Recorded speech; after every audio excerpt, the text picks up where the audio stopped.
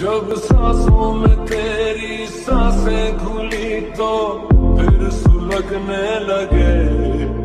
एहसास